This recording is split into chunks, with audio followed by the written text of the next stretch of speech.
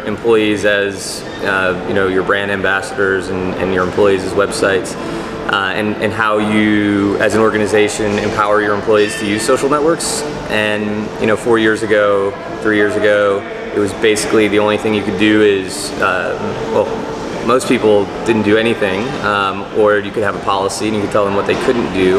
Um, now, I think more companies are doing uh, training programs, and then and then even more recently, companies like PeopleLinx and, and others are emerging that are vendors and software solutions that you can give your employees to really give them the tools that used to be just uh, owned by the, the, marketing department.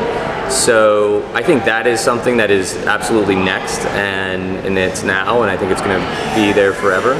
Um, I think uh, I think you know everything from um, you know the mobile and the wearable technology and um, people being you know more connected than ever before. So in other words, I think some of the things that we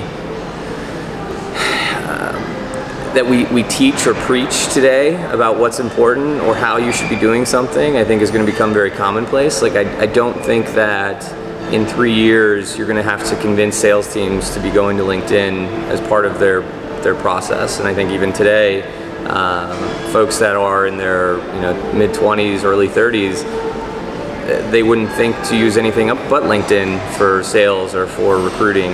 Um, and so, so I just think that some of that is, is here now. I think it's it's going to continue. And I also think people are going, the aptitude for these tools is going to um, is going to become more commonplace.